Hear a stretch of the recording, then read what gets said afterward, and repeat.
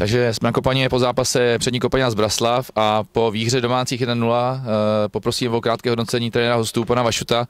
Z Braslav podala na kopaně nebojácný výkon a uh, sahala po bodech. Tak asi to tak je. je.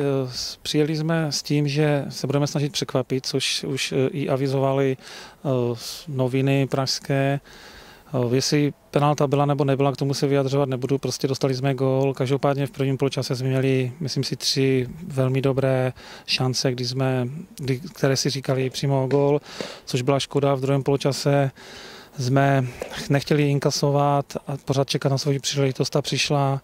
Měl tam sedláček ke konci velmi dobrou šanci, trefil hráče, nebo brankář mu to chytil, potom i ke konci Míra Král zase trefil hráče, takže škoda. Myslím si, že tomu utkání by spíše slušela remíza. Ale bohužel fotbal je takový, prohráli jsme série, měli jsme teď dlouhou sérii bez vlastně porážky, takže série skončila a věřím, že se kluci z toho nějak otřepou a budeme pokračovat dál a zase budeme bojovat dál.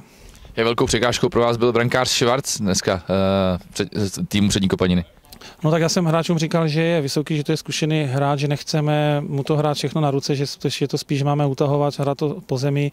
Toto se nám nedařilo. No. Tam eh, jednou právě v tom prvním počase toho Tonyho krásně vychytali si, Tony šel sám na něho, udělal mu kličku, on si ho vyšlapal jak kdyby a, a zlikvidoval mu to pěkně. No.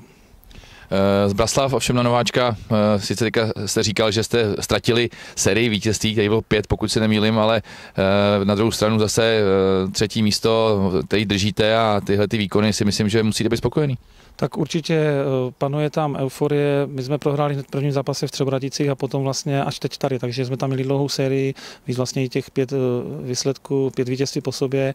Říkám, kluci si dali říct, pracují, hlavně sázím na disciplínu a v útoku vlastně na, na syna i na, i na Sváťu Sýkoru. Bohužel dneska v utkání nebyli, syn je zraněný z cholupit a Sváťa byl nemocný, takže i toto bylo pro nás oslabení, ale na to se jako vymlouvat ne, nebudeme, prostě bereme to tak, že to je a, a snažili jsme se je nějak, nějak nahradit. No.